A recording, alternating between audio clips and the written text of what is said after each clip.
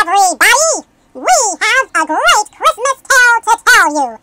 It's about our most special Christmases of all. Simon, you remember that special night on Christmas Eve? I remembered it as if it were yesterday. How about you, Theodore? Do you remember?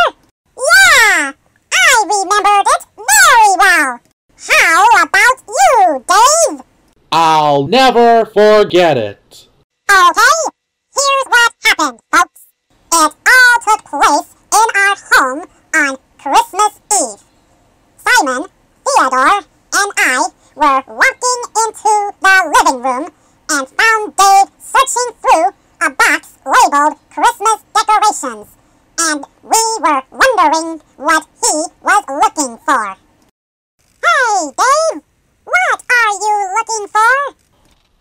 I'm just looking for that special star that my family has used to decorate their Christmas tree for generations.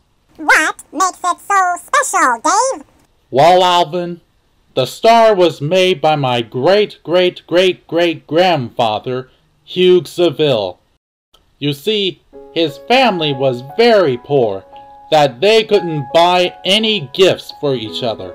So he decided to make a gift that his whole family could love. When he showed his family the star he made, they weren't very pleased, for they thought Christmas was about getting presents.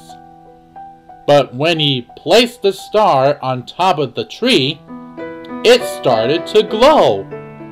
His family couldn't believe their eyes that they stopped hating it and started loving it. And the more they loved it, the more it glowed. Then his family believed that it was the most special Christmas ever because Hugh's star was made from the love he shared with them.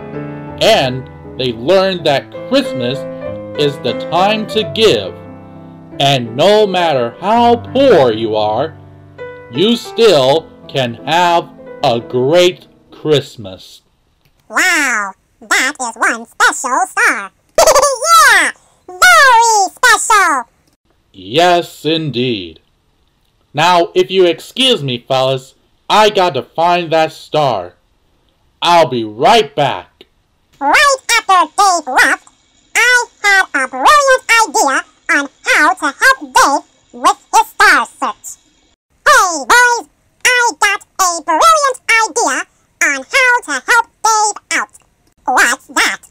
We're gonna give him a new special star to enjoy, since he can't seem to find it. How can we get him a new special star? Maybe we can wish upon a star. I heard that wishes come true when you make a wish on a wishing star. I was thinking more on making a star like Hugh Seville did. I'll tell ya how we'll do it. Come here, boys. Here's what we have to do. We have to do So we got right to work with my brilliant plan. We finished making a costume that looked like a star. My idea was to climb on top of our Christmas tree and act like a star. Soon, Dave came into the living room, and we were all set to surprise him. Okay, boys, I finally found my family's special star. Now we can put it up on our tree and... Alvin! What do you think you're doing on top of our tree? Being your special star, of course. Yeah, we wanted to create a star like Hugh Seville did. We just wanted it to be very special. We knew how special that star meant to you. So we wanted to help you out. After all, it is Christmas Eve, and like you said, Dave, it is a time to give, to share love and peace to others, your sisters and your brothers, and to those you've never met. When Dave heard this, he was no longer angry with us and started to smile. And this is what he said to us. You're right, fellas. And I see now that you did all this out of love, and that it came right from your hearts.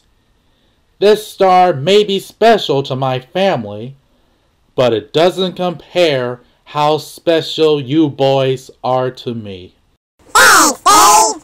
You're special too! Then soon enough, Dave's star suddenly started to glow, as it did before. And it started to levitate right out of Dave's hands, and then landed right on top of my costume and glowed even brighter. Wow! Hey, look! I'm a shining star! And it has been the most special and magical Christmas